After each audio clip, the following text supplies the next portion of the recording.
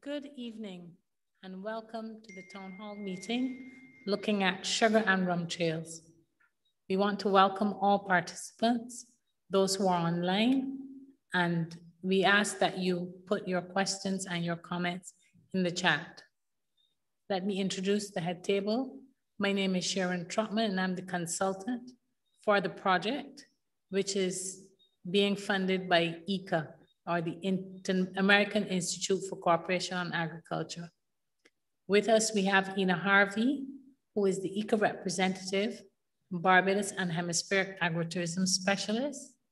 We have Mrs. Rhonda Bryan Hudson, who is our facilitator this evening.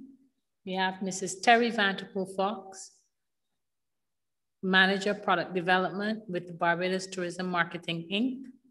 And we have Nadia Jemmett, who will be our rapporteur this evening. She will be recording the session. This evening, we will begin with Ms. Ena Harvey, who is currently serving as representative of IICA for delegation in Barbados and the IICA Hemispheric Specialist in Agrotourism.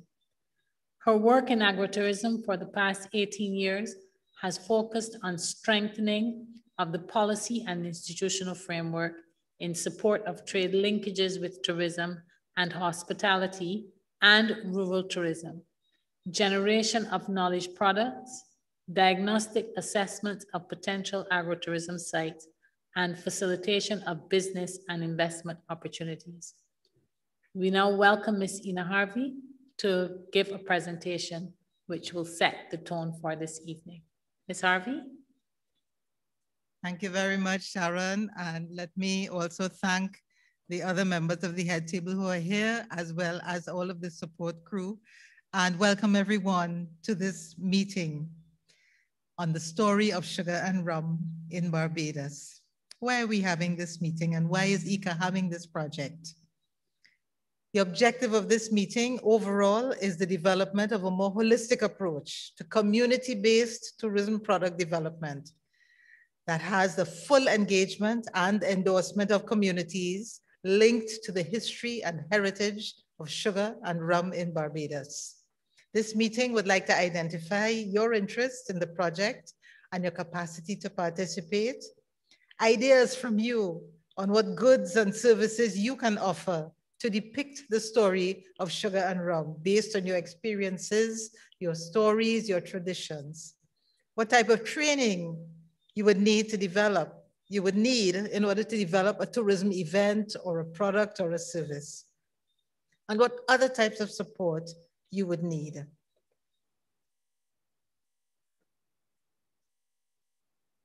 Based on my knowledge as a trainee of what sugar and rum assets exist in Barbados, there is so much. And the history of Barbados is so intri intrinsically enshrined in the story of sugar and rum. We have sugar factories in, in terms of physical assets. We have working one, uh, the only working one now, and former ones, including Foursquare, Carrington, Bulkeley, Andrews, and so on. We have the Morgan Lewis Mill and several sugar mill structures throughout the country. We have the West Indies Central Sugarcane Breeding Station, very important. Breeds from our sugarcane breeding station have gone all over the world, Brazil, Australia, the Pacific, the French Caribbean. Plantation houses galore, Sunbury, Nicholas Abbey, Lancaster, Golden Grove, and some that are, haven't even been developed rum distilleries, Mount Gay, West Indies rum distilleries, Foursquare, Nicholas Abbey, and others. Sugar museums, Arlington, Frank Hutson Sugar Museum, and our rum shops, over 1,500 traditional rum shops. In terms of tours and events, we have distillery tours at our visitor centers, Mount Gay, St. Nicholas Abbey, Heritage Railway, walking rum tours of historic Bridgetown, the Barbados Association of Rum Shops, which have exciting tours and events. People and the communities, and this I think is the most important resource that we have. We have historians, storytellers, costume designers, the mauby lady, the nut Mother Sally, stilt walkers, and all of the characters who represented our sugar history. We have our creatives, our storytellers, our musicians, our artists, songs, music, mixologists, some of them award-winning mixologists in regional and international competitions, artisans who can make 3D chattel houses, chefs, tour guides. We have from the BTPA, which is now merged into the BTMI, a Barbados sugar and rum season, which saw a mixology road show, historic lectures, cooking classes with sugar and rum, plantation great house dinners, mixing our culinary heritage with the plantation ambiance, walking tours of Bridgetown, chocolate and rum distill distillery tours, windmill tours. So there, and that is just a snippet of what we have here in Barbados about our story of sugar and rum. And we, of course, don't want to ignore the history of slavery, which is the basis for that sugar and rum story. And not only the negative things that came out of that, but all of the innovation that came out of our story of slavery. So IICA is implementing a Northern Region Agro-Tourism Project. Northern Region because we have five regions within IICA's Latin American Caribbean member countries. And this project, we're trying to develop and implement capacity building initiatives that encapsulate the cultural and historical significance of value chains. That farm to table experience for ice wine in Canada, tequila and mezcal in Mexico, bourbon in Kentucky, and rum in Barbados and the Caribbean. We want to build the capacity of persons all along that chain from the production of the material that you use to make that liquor, that final product, right up into the events and uh, sites and attractions. We want to generate new culturally linked agro-tourism products, services, and opportunities for increased social and economic growth, especially in our rural communities. And through the identification and strengthening of agro-tourism collective initiatives, we want to have a gender and generational perspective. We want to share the stories from the older folks, from those who worked long and hard in the industry. And why have we identified Mexico and Canada and Kentucky? Because they have some stories to tell and we don't have to reinvent the wheel. And I just want to give you a taste of what takes place in Mexico with tequila and mezcal. The tequila route, and you'll see a picture of where that route is in the area that is in Mexico. The tequila route is a tourist tourism destination that was born in 2006 in the municipality of Tequila, Jalisco, through a collaboration with the IDB, the Inter-American Development Bank, and their multilateral investment fund. So there was a funding facility there, the MIF, and the foundation, the Jose Cuervo Foundation, who granted $3 million to create and develop a council for this route. And the purpose is to increase the competitiveness across micro, small, and medium tourism companies. The Mezcal route was sim similar. And in the first five years of operation, the Ruta de Tequila trained more than 3,500 people in different tourist services, incorporated 305 SMEs, small and medium enterprises. There was public and private investment up to 1,200 million pesos. And then with the contribution of the foundation and so on, they linked up with the geotourism project of IDB and they increased their access by those 400 million visitors who look for geotourism. Just a bit back to Barbados. In the BAMC's strategic plan, as well as in IICA's plans over the years, and the Ministry of Agriculture, we saw that there could be a project in St. George with the Bulkeley factory, whereby we can have a ruta de, de azucar, a ruta of sugar cane, a ruta that would depict the story of sugar and rum that would form a core project for a number of trails across the country.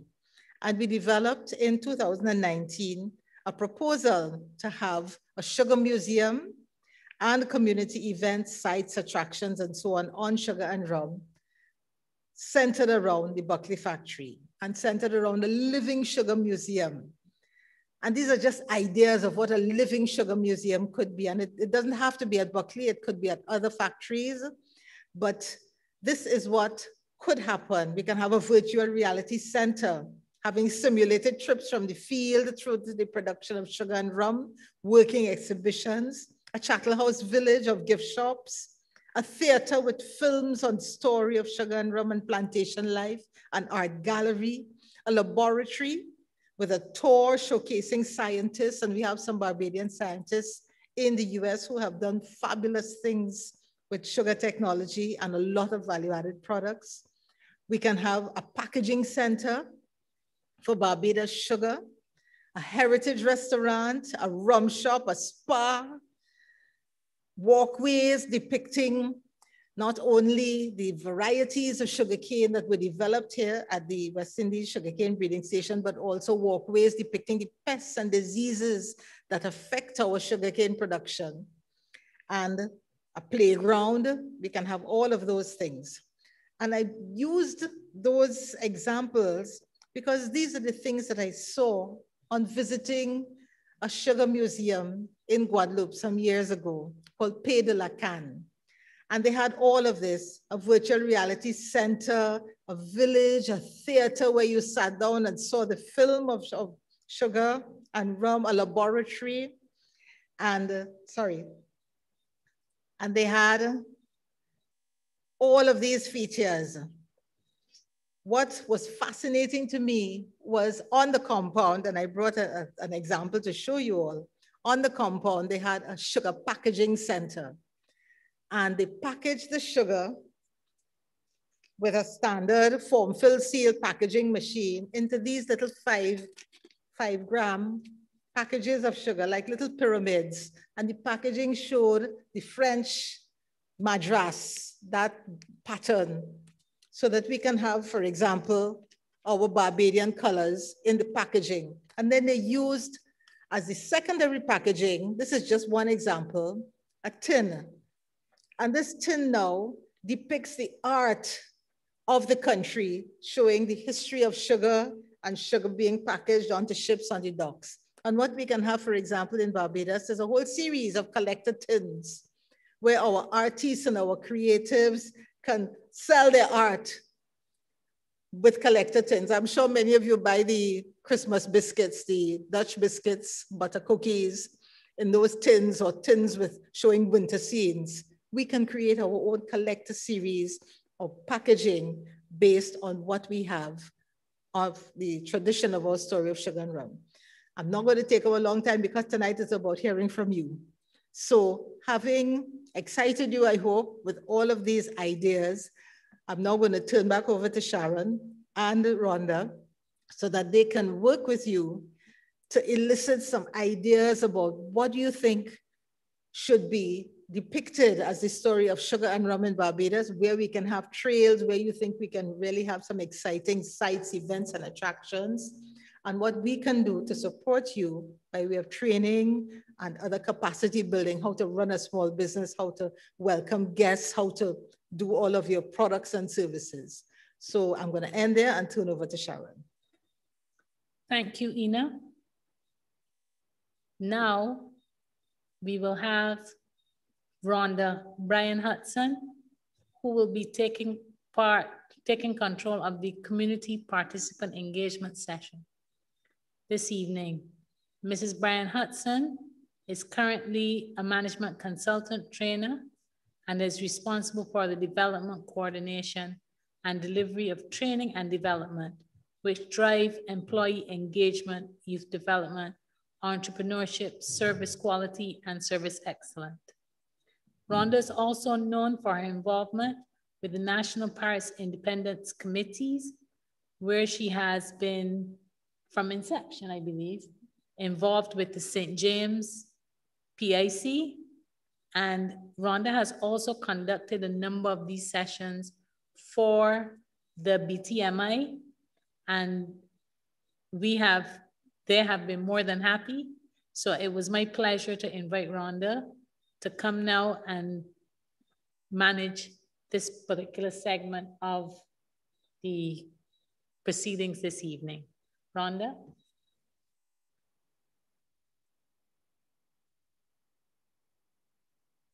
Thank you so much, Sharon. Thank you so much, Ena, for making my job easy in terms of setting the atmosphere and getting the excitement going in terms of what we are looking at tonight. And as, as was so aptly already put on the table, Barbados is the birthplace of rum.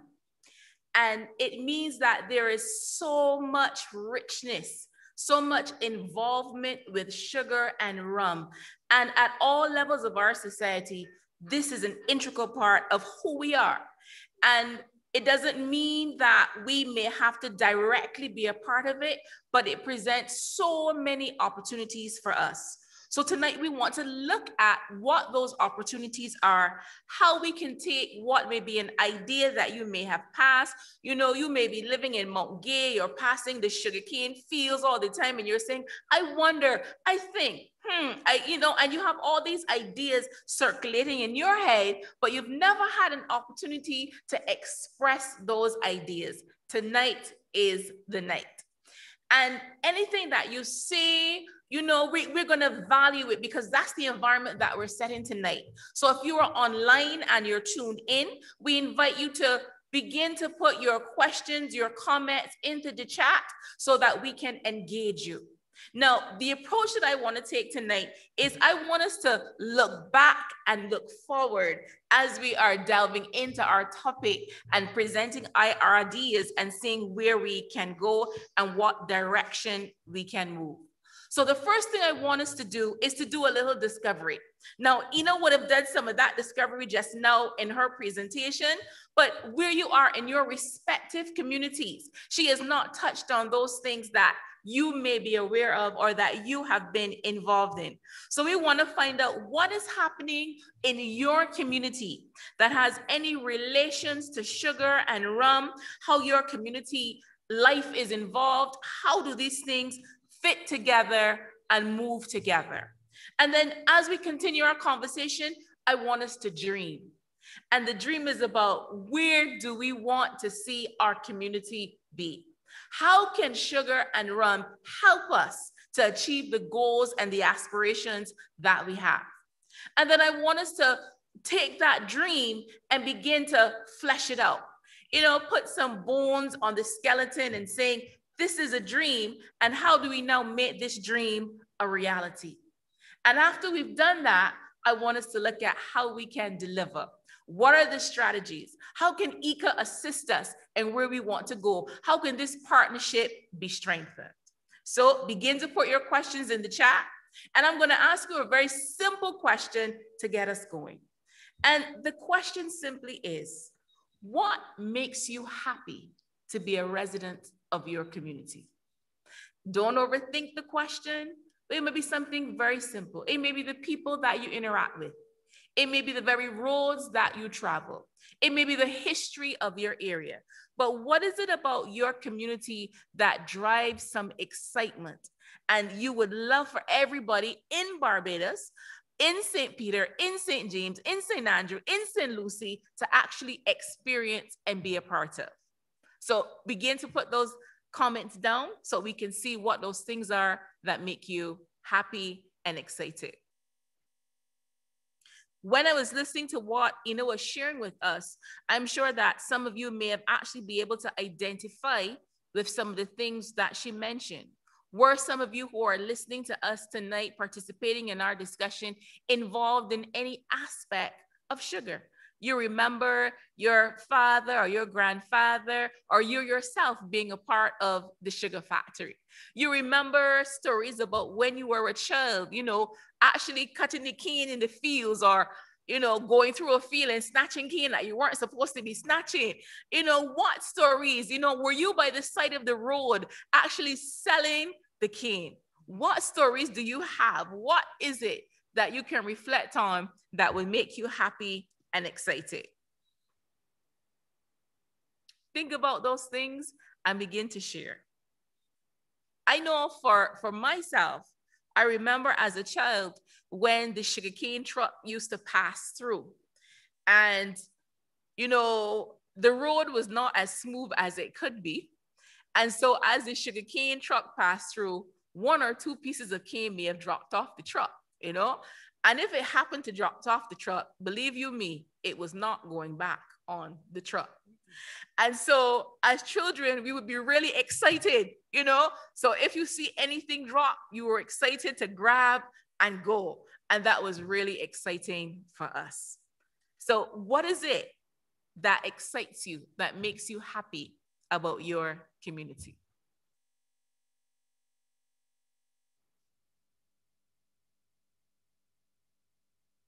Any comments as yet? Okay. So, Sharon, I'll throw the question out to you as we wait. Sharon, what makes you happy to be a resident of Barbados? I remember my childhood. Mm-hmm. I lived close to Porter's. Well, Porter's is close to where I live now, was. And I remember the horn from the factory and you ah. could set your clock by it because it would signal shift changes mm-hmm. and it would signal, it would also be like an alarm for some people mm-hmm. in the neighborhood. I remember the smell of the factory. It is a smell that you don't get now. We only have one working sugar fa- cane factory. Yeah. Um, I remember going on tours of the factory actually going into the factory and seeing the whole process from the beginning to the cane, to the cane crushing, to the um, boiling of the cane juice, to the creation of the molasses, to the putting of the, the molasses into the centrifugal, centrifugal baskets and spinning them out to get the sugar. I remember that. That was a part of my childhood. I remember going to the factory and getting the molasses to put the tamarinds in. And we would put in the tamarinds, but we would never let them stay long enough to soak. we would eat them before, before they had a chance to absorb the, the, the liquid. Yes. And that was a part of my childhood. And I, when I speak to people now and I say, have you ever been to a sugar factory? And they say, no, I'm like, you gotta be kidding. Mm-hmm. It is an experience in itself. And I remember for sugar rum season, we had tried to arrange some tours of the only sugar factory now, which is Portvale. Um, we, we weren't able to get those up and running, but I really wanted that to happen so that people could get the opportunity to experience that. But sugar was very much a part of my childhood. Um, not so much the rum. But the, but sugar, the sugar, yes, I agree. Not so much the rum, but the sugar. Rum was for when you were baking at Christmas.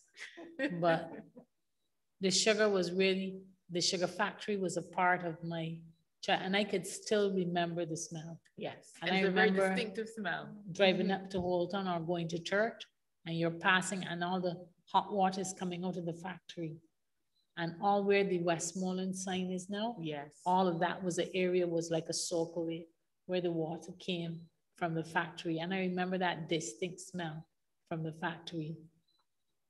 I don't know if the people who live in that area of Portvale still get that, but that's one thing I miss. Nice. From that's a nice memory. From growing up. That's a really, really nice memory. And I'm sure that all of you who are listening, even hearing the stories, are a bit inspired. And when we talk about making sugar and rum authentic to Barbados, even the very stories that we tell from our childhood are things that we can package. And you might not think about that being an experience that you can package. But remember, if I've grown up somewhere else in the world, outside of the Caribbean, I don't have this context in which to identify. And we can look at it and say creatively, how do I take your stories and how do I bottle the smell of the mm-hmm. factory? Mm-hmm. You know, and we may not have thought about that, but we have a lot of you out there who develop soaps, you know, and make different scents. Have you ever thought about creating a saint? It sounds funny, but let me tell you that the other day I saw uh, candles and they were men scented candles. Can you believe that, Terry? And what I mean by that is that when the rooms burned or when you burned this candle, it was going to smell like barbecue.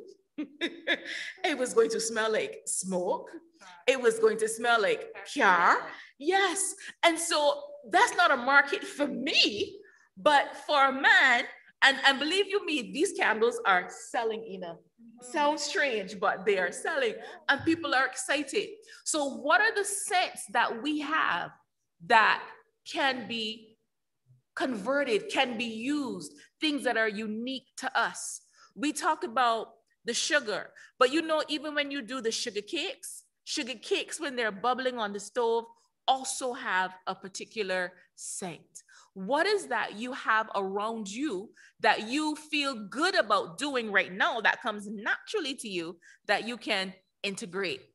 I think about the sugar and I think about the same croaker sacks or the sacks that you use to carry the sugar. Once you have used the sugar in the bag, are there any entrepreneurs out there who could say, hmm, I can come up with something ingenious. I can come up with a recyclable use for this very bag that now becomes a product that we can now use again. What are those things that are unique to us that we can package? When we talk about Barbados, they, we are described as being a friendly people. We are described as being a people who love food and who love to cook and who love rum. Do you consider yourself to be a great Bajan chef or a cook? What can you do for your community to take advantage of the opportunity that is now presenting itself and being put on the table? When you look at your community and we talk about developing a sugar and rum tour in your area, in your community, what would be some of the things that you might consider to be traditions or pieces of history in your community that we can use? What location in your community has significance? Who are the people that tell great stories that we can tap into?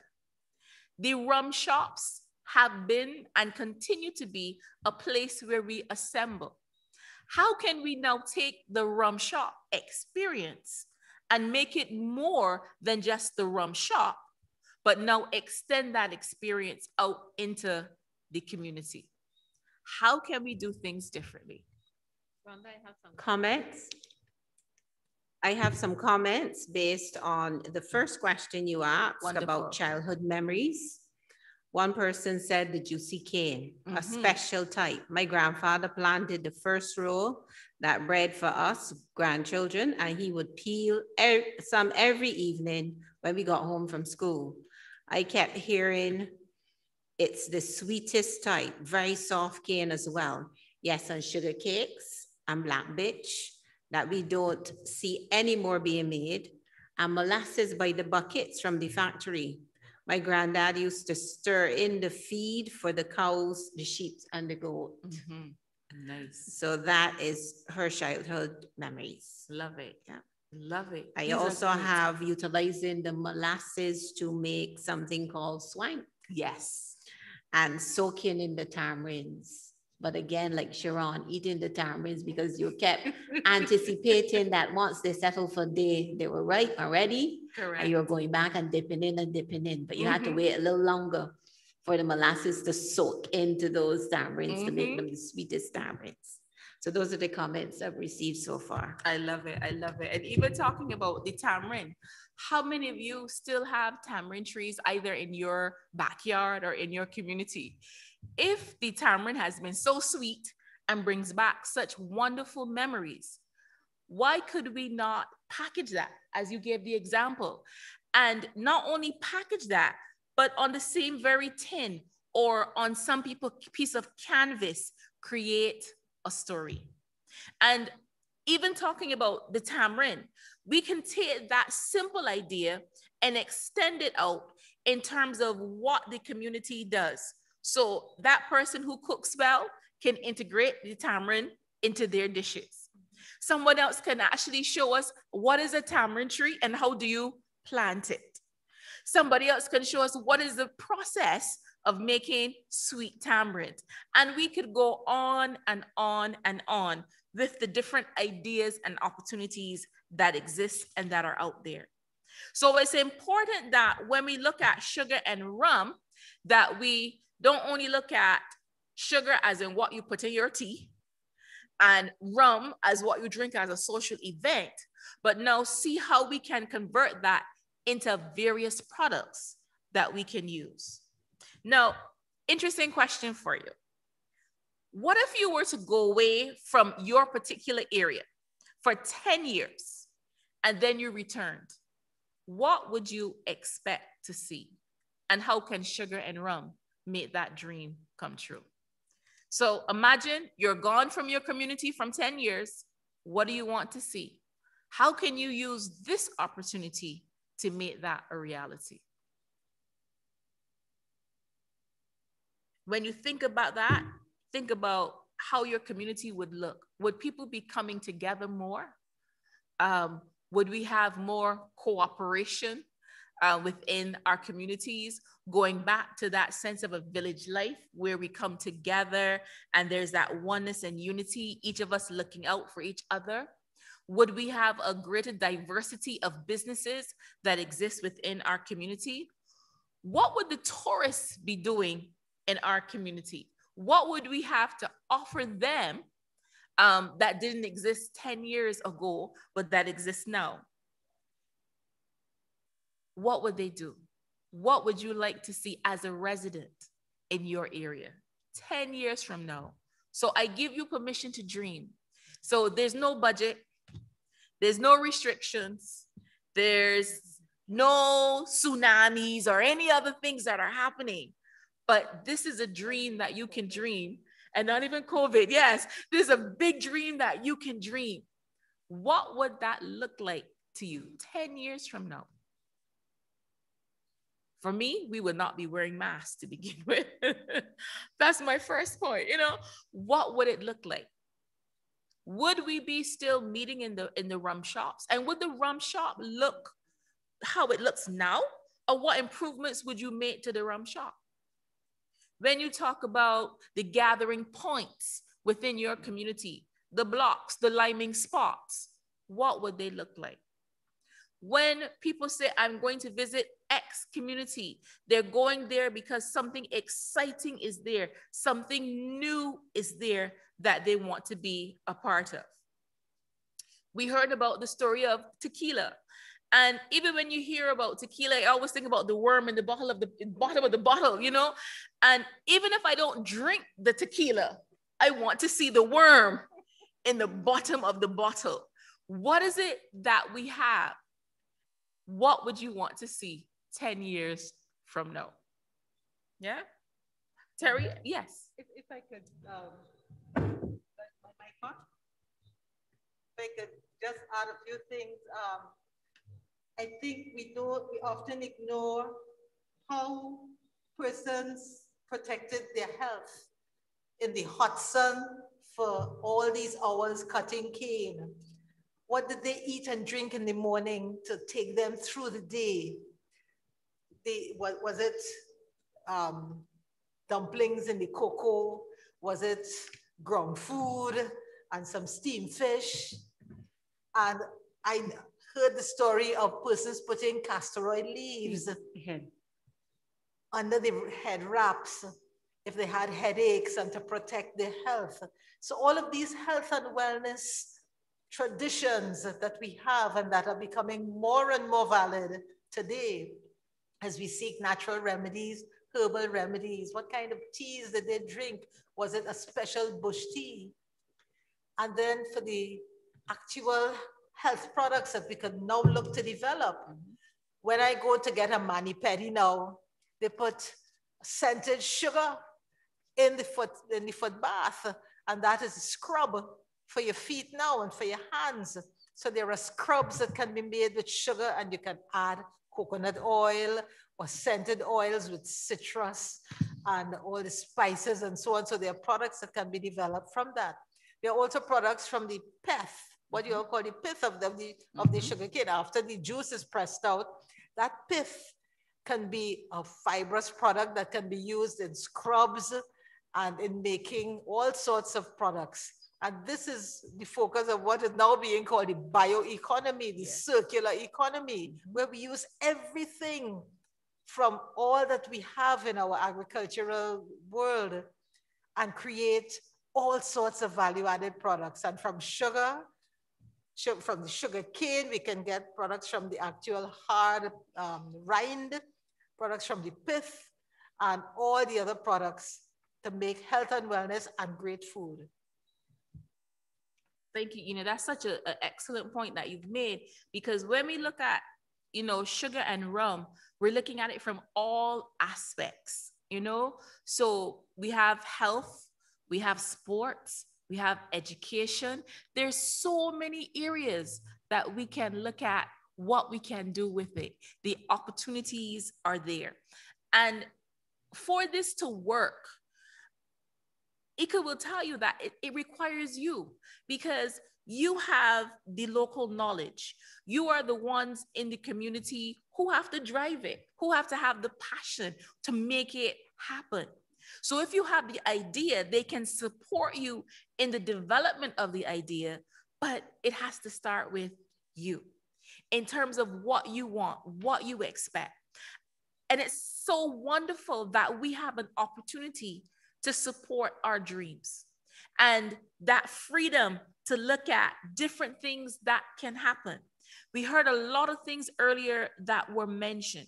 We know that we have the Food and Rum Festival, but who says that has to be the only festival? Who says that in your community you can't have something specific for where you are? We talk about have you ever thought about the same sugar cane? And I think about artisans Artisans in Barbados are so creative. What can you do with that same sugarcane husk? What can you do with the fibers? Is there anything that we can develop to make it happen? Now, Ena, you came up when you when you were doing your presentation, you mentioned something that I thought was really interesting. And I want you to touch on it a bit for us. And you talked about creating walkways. Those were the most interesting things I saw in Pays de la in Guadeloupe, which means cane country. There was a, a pathway where at each stop along the pathway, there was a box with a variety, a species of sugarcane growing and a little sign that told you where this sugarcane variety came from and its yield, its um, efficiency, and so on and so on. And the most amazing thing in Guadeloupe to see along that pathway was that 80% of all the sugarcane varieties came from Barbados. I felt so proud. And then there was another walkway where you saw the pests and diseases that affected sugarcane. And it wasn't boring science or, or highfalutin technology. They had the pests like big carnival costumes done in papier mâché. So you saw a big, beautiful moth and a big, beautiful insect and a, an explanation. So it was fun and interesting for families. And then there was a playground at the end of a railway that they made from the old um, sugar physical um, infrastructure. And the train stopped in an area in the field that they cleared. You had a little stop where you can sit down. There was a chilled glass of sugarcane juice with a little straw on the top, much like your little quarter liter juices that you get now, and a playground where the different parts of the cane plant and the different things were depicted. So we can let our imagination grow, go wild. We can even have in a sugar site, we can mow the field in the shape of crop circles. We can make a maze where you can go into the maze and, and rediscover yourself. All of these things are very esoteric and people like all that kind of craziness. Or you can recreate battles between the plantation owners and so on. There are people who put on costumes and recreate a battle. And all of this is a way of monetizing, but mm-hmm. in a mm-hmm. dignified way, mm-hmm. our traditions, our stories. We can show, we can have like what they have in Grenada, where there's a cocoa estate and the workers dance the cocoa, much like how you dance grapes. You have to dance cocoa to sh- shine the beans. They dance in a big copper vessel that was used in the sugar factories and they dance to drumming. So you don't have to reinvent the wheel in a whole lot of ways to get ideas. IICA has been looking at agro-tourism, rural tourism, and all of these fantastic sites and events and attractions all over the Caribbean. We have documented the stories, and not just the Caribbean, but also Latin America. Excellent, excellent. I have Rhonda. Go ahead. I have two comments for you. Great. Uh, the first one said that if we do not preserve the story of sugar and rum, like we like we are currently trying to do now, then in 10 years' time, we would only be able to reminisce. We wouldn't have all these That's memories so that true. we do have. So true. And the other comment was that in 10 years' time, you will still have rum shops, but with added value. And he goes on to say he likes the rum shops during, he likes to visit rum shops during his tours, but the ones that stand out usually have the village feel, even down to the food. And tourists like fish cakes, cou-cou, and flying fish. He said the rum shops can be pushed along with a finish at a refinery, rum refinery, to see where it all began. And uh, he also indicated that he likes to frequent Foursquare, where sometimes if Dario and his sister are not available, he can do the tours. I believe this is a taxi driver, mm-hmm. transport mm-hmm. provider. Mm-hmm. And he also added that St. Nicholas Abbey is another icon, but it is getting a bit overshadowed by the train itself in terms of the train journey, mm-hmm. as opposed to the actual sugar cane and yes. where the cane comes from and that experience to see the the cane being crushed mm-hmm. and actually that opportunity to suck on some of the cane itself. And I think all of that adds to the authenticity. Definitely does, definitely does. And you know, even as you were sharing those examples just now, um, about three thoughts came to my head, and I'll see if I can remember all three of those thoughts. Um, I love I love the concept that we're saying that if we recognize that if we don't preserve our history, then there's a saying that says that if you don't tell your own story, somebody will tell your story sure. for you. Mm-hmm. And, and so it's important that we tell our story. And even the storytelling, uh, the oral tradition of storytelling is something that can be a product. So you may say, well, I, I, I, am not good at X or I'm not good at Y, but guess what? You have a knowledge and you can share your story, and that story can be added to other stories. And now we've created a chronicle of stories about sugar and rum. And the history is preserved so that even when we no longer grace this earth, our story, our legacy, the impact that we have still remains. So I think that is very important. It also suggests to us that we also need to look at what we can do for our children and our youth so that not only does the story rest with the older ones in our generation, but now we have those who are younger amongst us who know what happened before and can develop an appreciation of what has gone before and take it to the next level the rum shops. I like the village feel. And even as that person was sharing, what I was actually seeing or visualizing was an actual tour in, in various communities because we recognize now that when we talk about community tourism, that now the people who visit our shores want a local experience. Yes, the hotel is nice, but I really want to know what Bajans do and what it's like to be a Bajan. So when you look at your, your, your community, they would love to visit your community, whether it's for two hours, a half day, or a whole day. And you now make all the components come together in an interactive experience. And you know, sometimes it can be those simple little things that we take for granted. Sometimes the same talking about the different plants and the health benefits are so important. Sitting down on somebody's front porch and shelling peas, you know, becomes an experience for them. Even being able to take, whether it's the mauby bar, whether it's the sweet tamarind or whatever, and actually making your own natural drink becomes an experience and they get so excited about that. And you know, even as I say that, the thought comes to me that there may be persons who are listening to this discussion who say, Well, I am not an entrepreneur, but you know something? I would love to be somebody who would give one of those tours. You know, I would love to be someone who could take somebody through the community and give them a tour and show them what it's really like to grow up in Mount Gay, to be a resident of Mount Gay, you know, and, and, and your particular community going through it and experiencing. If that is who you are and you are listening to this discussion tonight, I want to tell you that there's room for you in the sugar and rum profiles that we're talking about tonight. No one is excluded on this journey. We recognize that on this journey, there will be those who will be creators, implementers, administrators, tour people, wherever you fit. Do you want to be a part of how we are moving forward, how we are taking this sugar and rum product forward for our nation? So that's open to you. And tonight is your opportunity to express the different ways in which you see yourself being able to participate. Another thought that came to me was, you know, of all the examples that were shared tonight, we also can create our own interpretive centers.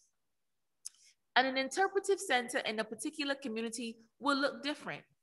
Who are the people in your community that stand out, who have played a significant role? What are the things that are happening within your community? And you could have a centralized location where you just display all of that aspect and those key components of your community in that center. And there will be some persons who would record and talk about their great stories because I love hearing Sharon's story tonight. And if I were going into interpretive center, I would actually stop and listen. You know, you may be an artisan, and the same time that story is playing, there's a beautiful mural that is painted. There's artwork that the children have done that depict these various stories.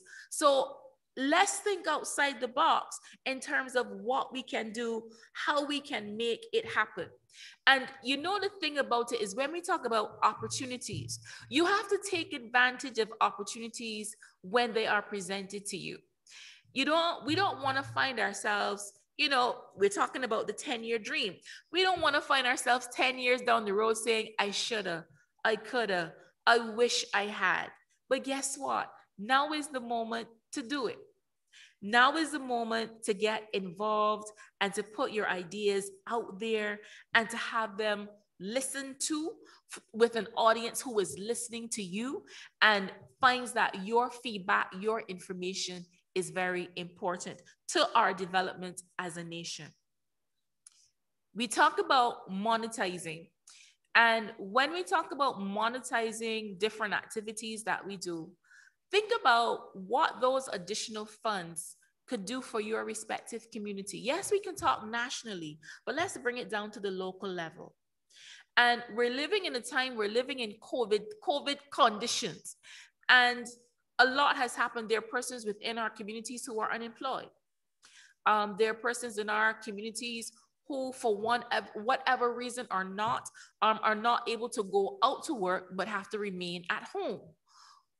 What is it that they can be doing, or how can we support them and give them the resources that they need so that as a community that we are functioning, that we are high level, that we are presenting our community and our nation, Barbados, in a positive way. Think about that. We talked about the health benefit. What little secrets do you know? What little treasures do you have in your community that you can share? You know, and you don't know where that would take you and how it would affect us when we look and we dream about different products and services that we can come up with, I challenge you tonight that as you think about that product, that service, ask yourself tonight, what resources would be needed? What would it take to make what I dream, what I want, what I desire to become a reality? And when we talk about resources, yes, funding is a resource. Mm-hmm. We're going to put that one side. We know that exists. But there are other resources as well. What type of technical support would you need? What type of manpower would be required? What type of training would you need? What type of education, information would you need? What, what equipment, what technology would you need to make it happen? What space do you need to have allocated for you to execute what you need? Will it require storage? Will it require you to have international um, partners and linkages? What resources would you need? What would it take to make that dream of having the rum shops 10 years from now elevated and still having a good feel? What would it take for us to tell our story and not have our story told for us? What would it take for our artisans to be recognized, not only on a local level, but also at a regional and international level? What would it take for us as a nation to recognize that Barbados is known throughout the world for research as it relates to sugarcane? What would it take? What would it take for us to create a living museum? What would it take for us to create a heritage trail on sugar and rum? What are the key components that we need to make these things a reality? When we talk about the different products we have that relate to sugar and rum, how do we not only translate that and share that with persons off our shores, but how do we share it with what we call the local tourists? You know, you may live in St. Lucy, but how do you reach out to the tourists that comes from St. Philip or Christchurch with what is available in your area and, and how sugar is used in your areas? You know, I, I think of the fact, you know, we could ask the question, when we look at, let's go back to the same sweet tamarind or we go back to the same sugar cake, do we all make them the same way in each parish? Mm-hmm. Is there any diversity who says that we can't have a collection and it's the Barbados collection and there's a sampling of these different tastes and feels and examples. So we are one people, but even amongst ourselves, we have such diversity. What resources would it take to make those things happen? What potential profit would this bring into our communities um, when we look at what we could do. How can we create opportunity? We talk about our youth and the fact that sometimes our youth are unemployed or underemployed for that matter. How do we create opportunities of employment by using sugar and rum as the vehicle for finance? Things to think about. We also need to look at what would be some of the potential risks Think about your community. Would rain be a threat? Would flooding be a threat? Would the roads that you have be a threat? What things would impact you from actually delivering the product or the service that you're thinking about now? After you've thought about that, you know, I, I am a strong believer that for every problem, there's a solution. And it's just a matter of finding the solution. And sometimes it takes 10 solutions to find the one solution that really works. So, are we bold and brave enough to try something, take it as far as it can go, and modify to suit as we are going along, taking the risk as part of the process? But as we take those risks, modifying to suit, to make it happen. You know, these are things that we can look at because tonight you may have one idea as it relates to sugar and rum. And it may not work the way that you conceive it to work, but you know what? It may birth another idea. It may inspire someone else. So your simple thought joined with another simple thought becomes a mega idea. But we can't have the mega idea if we don't share those simple thoughts. So I always believe that there's no silly or simple idea. It's just what we do with it, how we create it, how we make it grow, how we make it bloom. Yes. First comment coming back says, first and foremost, training above funding because without education, the funds would go to waste. Mm -hmm. Another comment, most of all, engage communities. Provide training to ensure best practices and maintain high standards. Provide market access. Promote the entrepreneurs in the community. I love it. And I have two questions for those two um, comments that came in just now. When you say training, because training is a very broad area, um, are there any specific areas that you feel that we need training on? I know the second person that spoke spoke, spoke about best practices, um, marketing and entrepreneurship. But are there any other aspects of training that you think that would benefit us as well as we look at carrying forward these ideas? So for example, do you think that we need training in our own history? Yes, we learned it at school, but is it that we need to learn more about the history of sugar and rum as a point of, of learning?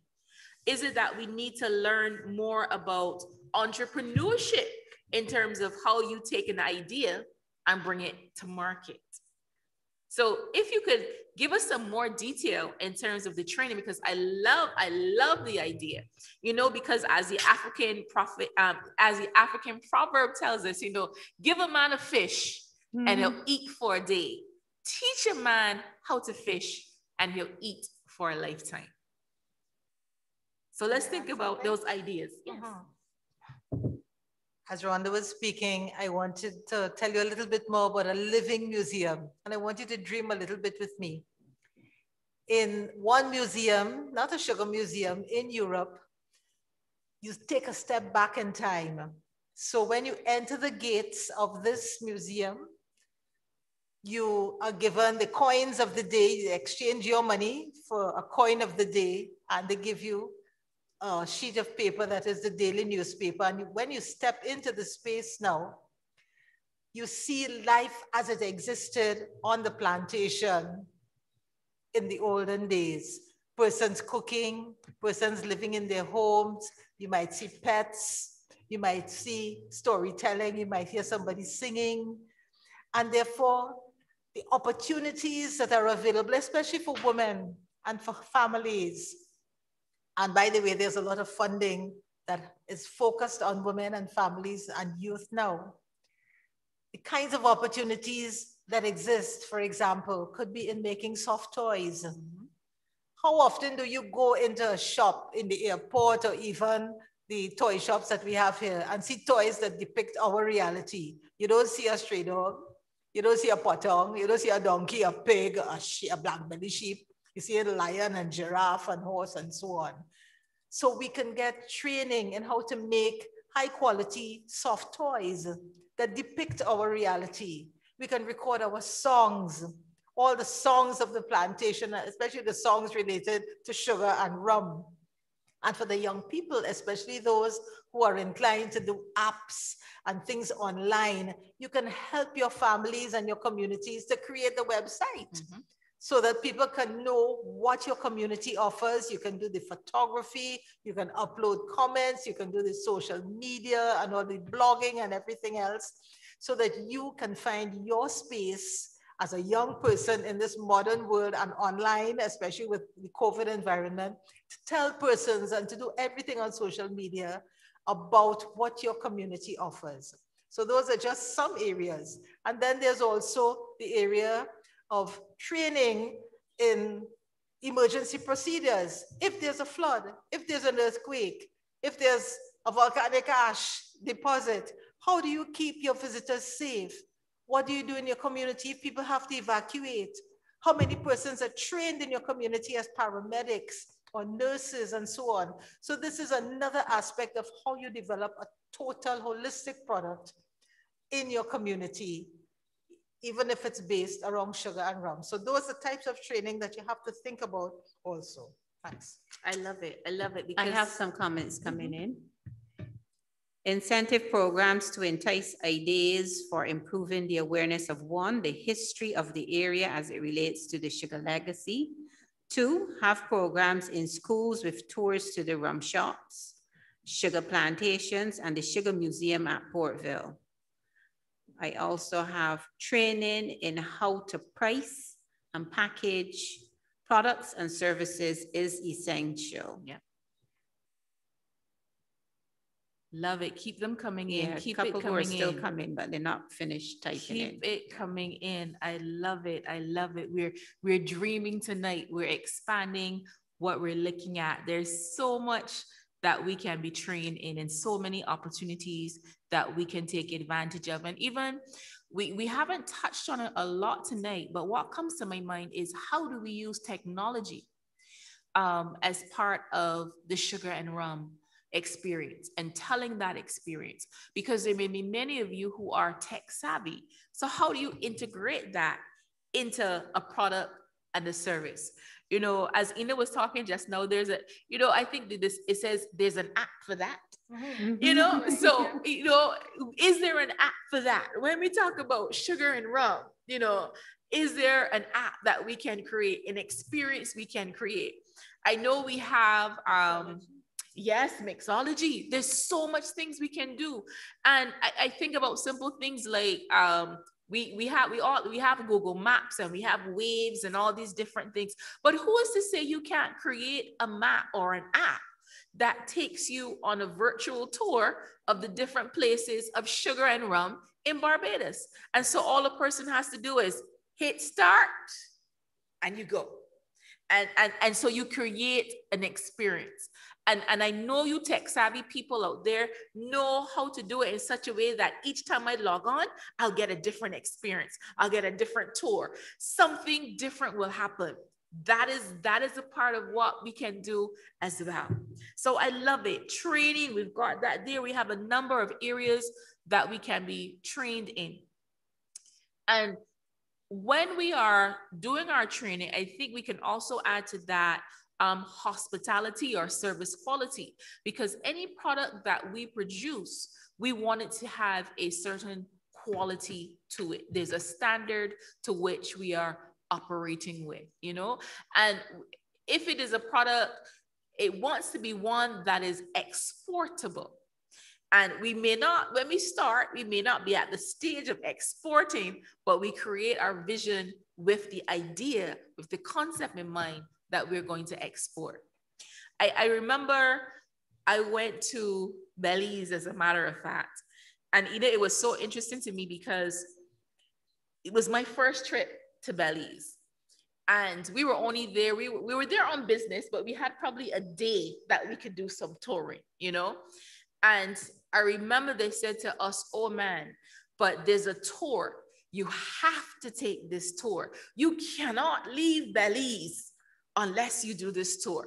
I mean, the way that they sold this tour, we had no choice but to go on the tour. The tour was in a buggy driven by a horse. We went around the city. Okay. We stopped at a plant shop and had some local food. We went by a local rum store and purchased, um, they were doing wines and sampling and so forth. And then they took us by the sea to see the ocean and took us through a town that was recently paved with street lights. That was the tour. And it was fantastic. The way that they sold this tour, I thought I thought, wow, it has to be really good. And when they passed through, they said, and look, these are bougainvillea trees. And I thought, well, I have bougainvillea trees home, you know? And this is a tamarind tree. And I thought, oh, I got those home too. But I don't ever remember us marketing those things. Mhm. And so as simple as it sounds, we paid for a tour. Yep. That was that simple. I think the challenge, Rhonda, sometimes is that we take these things so much for granted that we cannot possibly see the concept of creating a, a product or a service Out of around these things. I have some more comments from you. This one is coming from St. Lucy area.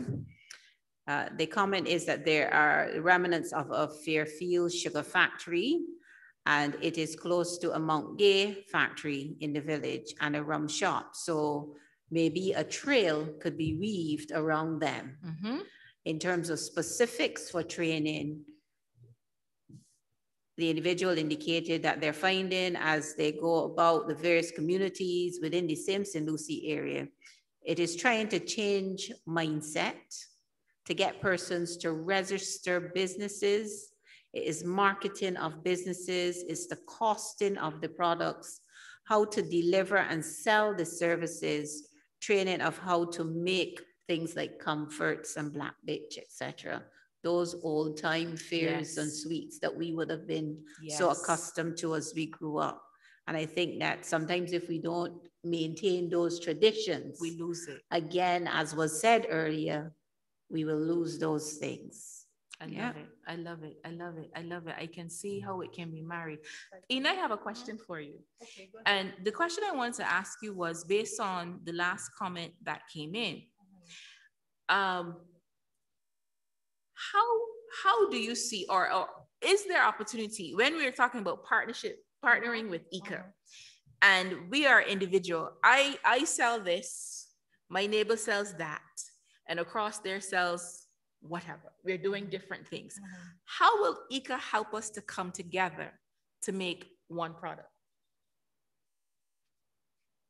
ICA works with partners like what we're doing here tonight, with the tourism partners, with community partners, and with the community itself, with the producers, with SMEs. We have a lot of successes in all of our IICA member countries, in Trinidad and Grenada, Jamaica, where we bring the producers together and let them talk about their product, let them talk about their what they see as their brand, and let them see the strength in working together and marketing under either the cooperative or marketing under a specific brand. We help with the branding, with the packaging, with design, and we bring all partners on board from our partner institutions as well as within the community to see how we can make it win-win situations so that people realize that the competition is not among themselves, mm-hmm. but that together they can produce branded products, special niche products that are authentic, that are theirs, and that they can project not only to their community nationally, but also to the world. Let me tell you some of the things. For example, in Trinidad, our Trinidad office worked with producers of rice. This is upland rice, not swamp rice, because the tradition, and this goes back into history and knowing a history, the tradition of making this, doing this red rice, this rice in Trinidad and also in Suriname, is that when in the days of slavery, the mothers and fathers would plait grains of rice into their children's hair. And not only rice, but other food grains, so that if families were separated for any reason, they would be able to plant food and have and, and eat. And uh, this rice now has been cultivated down through the generations, so much so that in Suriname, for example, there are over 100 varieties of genuine African rice that our office there is working with Cornell University to genotype to prove that this is genuine upland African rice. And the same thing in South Trinidad, where they now market their rice as a rice cooperative with the help of the office and with the community as red gold. It is a niche product. It is a specialty rice and it sells for a whole lot. Mm-hmm. So that this is the kind of way we work with communities and when communities need funding, we help you learn how to write proposals, access funding, and really bring the entire thing together. It takes time, it takes effort, it takes a lot of commitment on the part of the community, a lot of hand holding. But at one stage, we, well, we have to let go your hand mm-hmm. and let you and let you take, take it over. I wanted to add when Rhonda was talking about the special things and the simple little things that we have in our communities that we take for granted. And in Argentina, there is a bush tea root. It has a fancy name, Ruta de la Yerba Mate. Yerba Mate is the bush tea that they drink. in the whole southern region, in Argentina, in Brazil, Uruguay, Paraguay, and so on. We have a lot of bush tea. And in fact, just yesterday, we had a wonderful meeting with some very successful small enterprises. And there's one from Trinidad called Twigs Naturals that makes bush tea. And the way that they've branded this bush tea is that it must taste just like how Tanti and Granny made it. and they are a fantastic company. They're all, they're all green. And they try to make everything that they do depict their low carbon footprint, their use of all the raw materials, and so on and so on. Even their signage is produced on recyclable twigs and, and leaves. So that within the whole context of Barbados going green, of us reducing our carbon footprint, living sustainably, and all of that, you can fit your little project into that and do everything green, everything sustainable. And that always fits into the kind of words, the kinds of, of ideas that the funding agencies want to hear about. Mm -hmm. Mm -hmm. I have some comments coming back. Wonderful.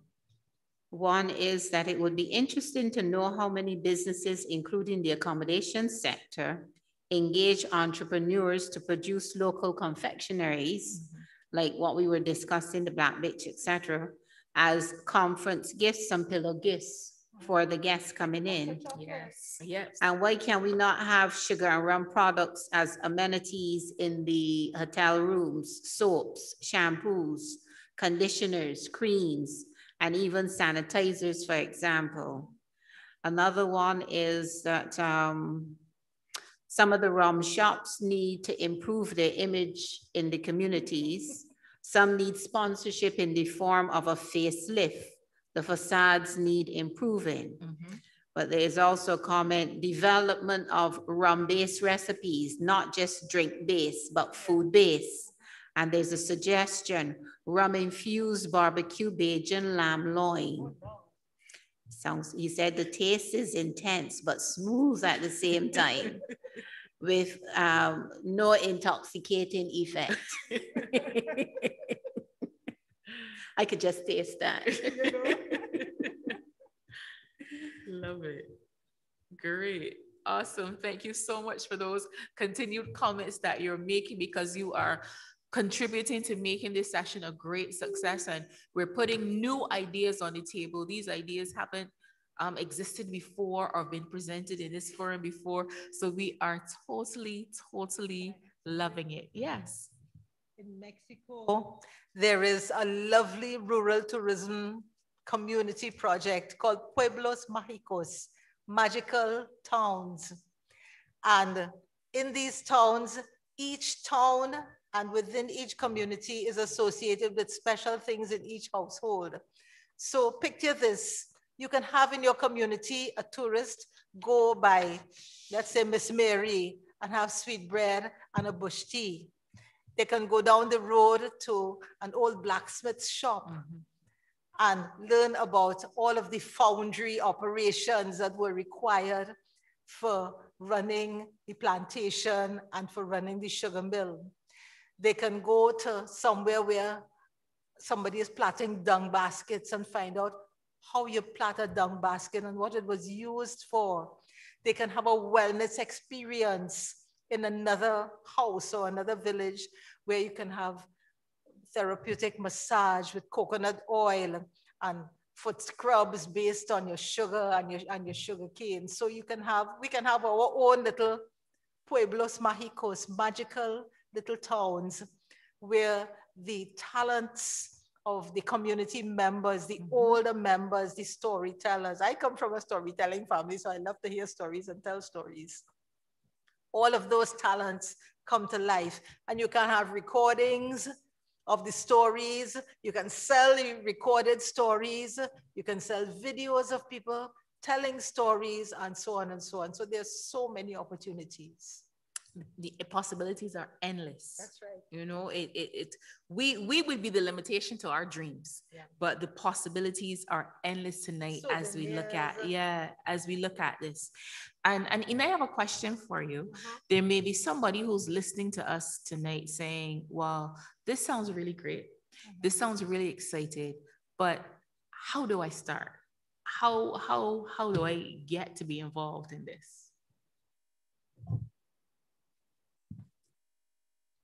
The ideas and the start of the project has to come from you. And you approach IICA as well as the coalition of, of institutions that you see here, BTMI, we all work together and we will look at all of the project ideas.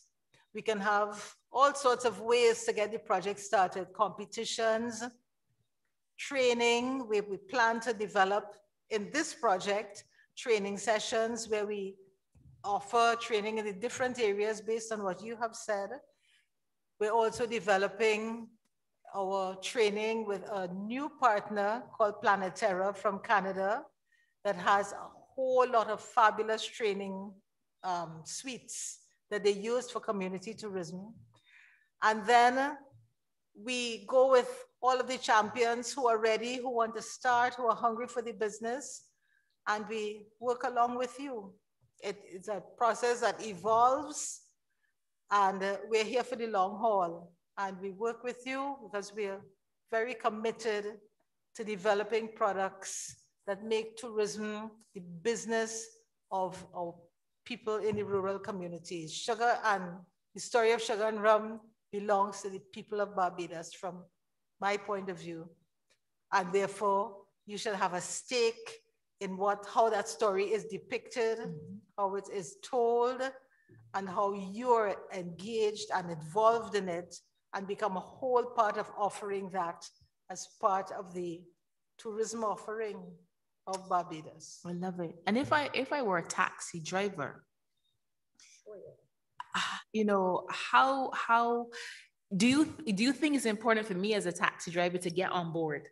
You know what always fascinated me as a person who came to live in Barbados was the depth of knowledge of the taxi drivers and the way that they could tell you everything that was going on in the country, politically, economically, socially. It, it was a conversation in taxis that, that you couldn't miss. And therefore, our taxi drivers are so important. They're the first people in many, in many instances mm -hmm. who interact with tourists. Mm -hmm. And therefore, a taxi driver is the person who can take you to where you want to go.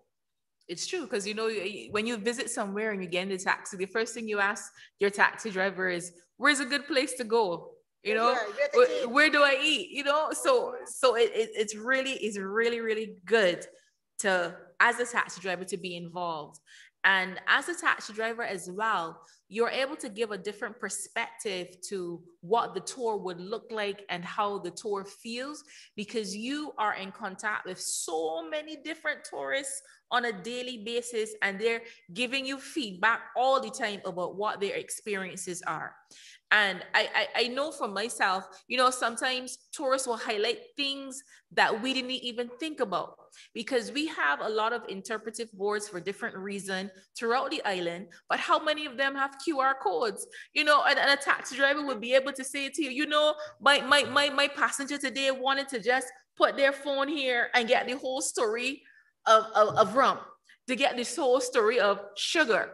Who says that you can't be the person who is putting the QR codes on those boards? You don't have the information, you don't know it, but you can now create a vehicle, an opportunity to enhance the tourist our visitors experience. So there is so much that we can do. I love the training and I want to throw the question out and, and you can post it in the chat or you could just let us know. We, we talk about we need training. We would talk about being engaged, best practices. We talked about, you know, learning the history of rum, about our sugar plantations, about how to price and package, having a right mindset about the marketing, etc. But I want to throw the question out to you that if IICA were to begin, as was discussed tonight, to begin to look at these training opportunities, would you be willing to participate? To be involved in those activities and those training exercises, leading to further experiences and the development of various products and services. Let, me add also that because the project is looking at um, learning from the experiences of tequila in Mexico and uh, bourbon in Kentucky and ice wine in Canada. We will have the opportunity to exchange with those communities and understand how they have developed and what they went through. And therefore, we don't have to make the same mistakes. We can have lessons learned. And therefore, you can have a hemispheric experience, not only an experience with what is happening in Barbados or the Caribbean by way of training, but the kinds of training that they saw that they had to do in order to make their trails success. Excellent. So Sharon, I throw the question to you. Just want to let you know that I have uh, responses earlier in terms of the Lucy area. Great. One young lady who does alcohol infused gooseberry and tamarind syrups. Uh-huh. And another young lady that does sorrel rum punch. Love it. So they are ready and interested in any Wonderful. training that we can offer. Excellent. Excellent. Because Sharon, that goes to my question. If I'm interested tonight, how do I express that interest? I'm online. I'm not, I'm not here with us, so I can't sign the sheet. How do I express that interest? Well, you can do one of two things. You can either send me a WhatsApp, and my cell number is 233 3588, or you can send me an email at T R U D E H O R N P I P E at gmail.com. I repeat, T R U D E H O R N P I P E at gmail.com.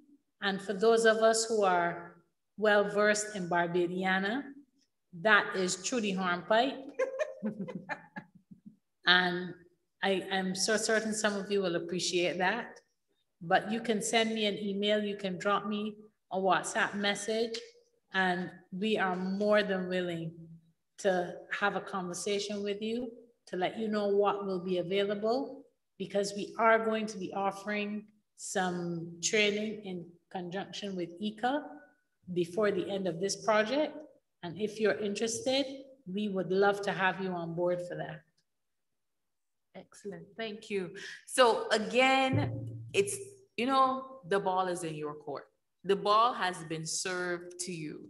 Will you hold the ball? Will you drop the ball? Or will you serve and send the ball back? You know, it's important as we, we started our conversation and our discussion today, it's important that we take an active role. And this is a part of our tourism product. This is a part of us telling our story so that no one will tell our story for us. This is an opportunity for us to be as creative, as imaginative that we want so we can bring it to the table. I mean, tonight we heard a lot. You know, you were talking about sugar and rum, but I hear I heard a lot about infusing. Mm-hmm. I don't know if y'all heard a lot of that tonight, but there was a lot of infusing happening when we talked about the sugar and the rum. And Rhonda, just to take that a little further, gentleman who offers the rum infused barbecue pork ribs. Yes. Uh-huh.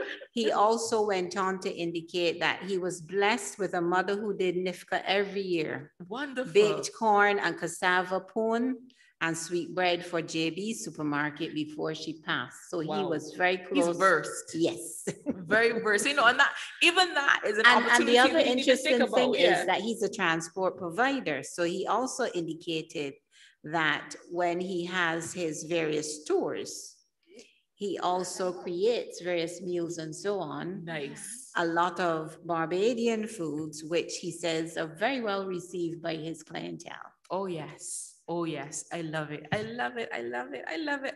I, I, uh, you know, am I, am I summarizing? I, I forgot to make this point. You know, the first time that I heard about muscovado sugar, I was so excited. I was like, what's muscovado sugar? Because you know, you're listening on Food Network and you're hearing about muscovado, and I must put muscovado sugar. I didn't realize that they were talking about sugar that I put in my tea every morning. Mm-hmm. you know, it, it, it, was us, and here it is now. We don't call it muscovado, we just say, I want your sugar. But again, our product, our sugar quality is such that, you know, it's everywhere. And we, the, the greatest of chefs all over the world are using it and infusing it. And, you know, tonight we also talked about capitalizing on our history. We um, were highlighted to the um, sugar factory, the Fairfield Sugar Factory in St. Lucy, and the remnants of that, and how that's linked to Mount Gay Sugar Factory as well, and the possibility of creating a trail in that particular area. We talked about all the other opportunities that existed in terms of using the uh, the medicinal purposes for the different leaves and plants that we have. We looked at the plantation houses, the sugar plantations, how those can be utilized in us telling our story. We talked about the rum shop and the elevation of the rum shop. We looked at the various opportunities that exist within the tourism industry in terms of creating packages that focus on things that are unique to us. Again, looking at the soaps and the sanitizers and the different takeaway packages that we can give to persons visiting our shores that will highlight that unique history of sugar and rum within Barbados. We started our conversation tonight talking about the fact that Barbados is the place and the birthplace of sugar and rum. We highlighted the fact tonight that, you know, however you look at it, however you swing it, however you think about it, that sugar and rum are deeply knitted in our economy, in our history, and our sociocultural fabric. So it's important that we come together now, take advantage of this opportunity to see how far we can take it, how we can dream big. And not only dream big, it's one thing to dream, but it's another thing to deliver. So I want us tonight, and I thank everyone for their participation in the community participation aspect of tonight's discussion but let's make it a reality. So tonight we dare to discover, we dared to dream. We talked about how we can deliver. Now let's make the plan come together. So thanks to everyone for your ideas, your contributions, and your questions and comments during our community participation segment. Thank you. Um, we thank everyone who participated. And at this time, we have a few minutes for those of you who have questions that you would want to pose, other questions that you wish to pose, other things that you would like to have clarified. We'll give you a couple of minutes to do that. But I also wish to repeat my email address, which is T-R-U-D-E-H-O-R-N-P-I-P-E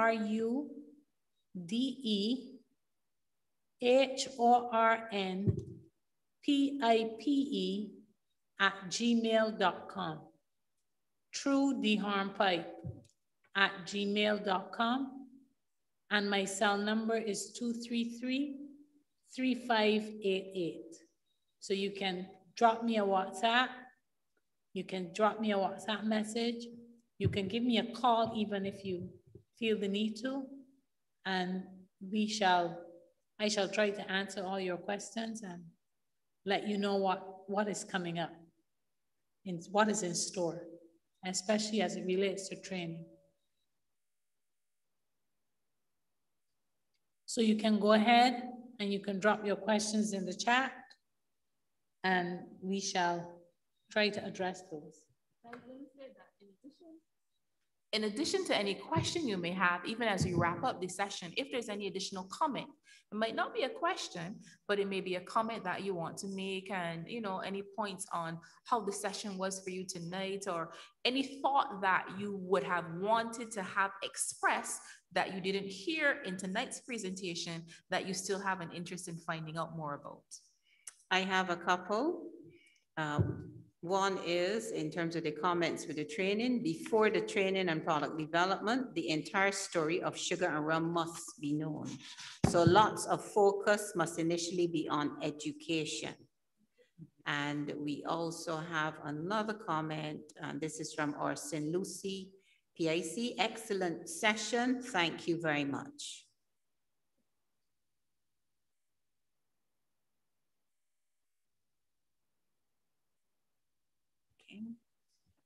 Those are the two that I've noted so far. Okay. Yeah. So again, just repeat your details again one more time. Another comment came in as specifically related to training. It was tour guide training. One of the specific areas for training. Okay. And the other one was good discussions.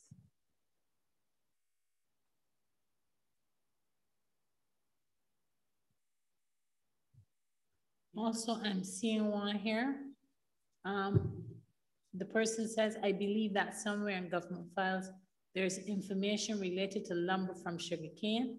Maybe we should have, we would have more houses made of this material. Mhm. So again, giving credence to a lot of work that has been done in the past that has not really gone anywhere, but there still is life in some of these ideas. Another comment, it was all worth my time, pushing through my headache.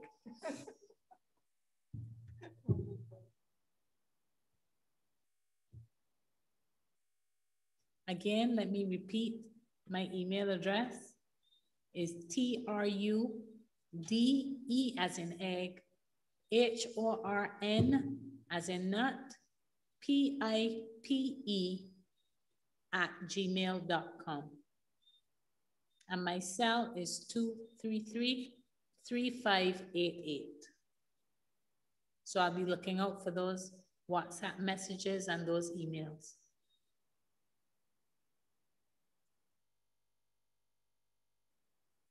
Any further comments, Terry? No, not, not, no. None coming through at this time. I think we can wrap up. Okay, well, in light of that, I wish to thank everyone who joined us online tonight and who were keeping the comments rolling. We appreciate the feedback.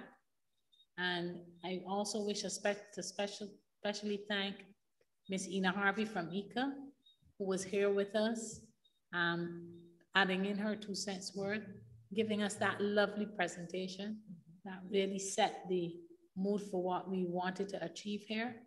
And for Rhonda, for guiding us through this entire process. And I also wish to thank, to thank Ms. Terry Vanderpool Fox for her contribution in reading out the comments that were coming from the online participants. Last one came in, um, very informative session. Let us keep the sugar and rum story alive. Thank you. Excellent. Ladies and gentlemen, I thank you for joining us and making this session a very worthwhile and productive one. And we hope to see you at some point in time in the future when we roll out all these training sessions and when we start to develop these trails, we hope to have you involved in these um, activities in a big way. Good night, and I wish you all a pleasant weekend. Thank you. Thank you.